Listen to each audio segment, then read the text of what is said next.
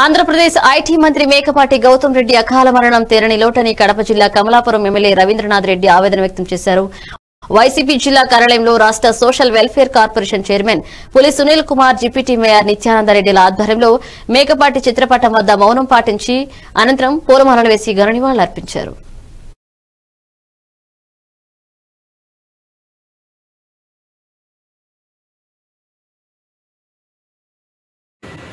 అలాంటి కుటుంబంలో చూసిన యువ నాయకుడు గౌతమ్ రెడ్డి మన జరిగిన దుబాయ్ ఎక్స్పో వారం రోజులు ట్వంటీ ట్వంటీ ఎక్స్పో పోయి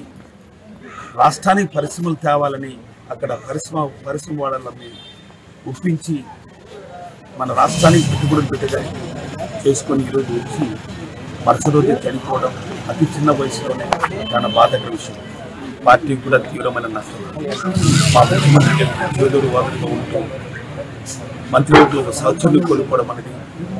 నెల్లూరు జిల్లా ప్రజలకు కాదు రాష్ట్ర ప్రజలకు కూడా దూరం వారి కుటుంబానికి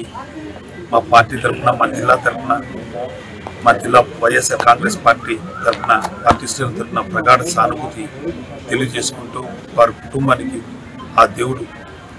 ధైర్యాన్ని ప్రశించాలని మనస్ఫూర్తిగా కోరుకుంటూ మరో పుత్రుడు గౌతమ్ రెడ్డి చనిపోవడం తీవ్రమైన లోటు తెలియజేస్తుంది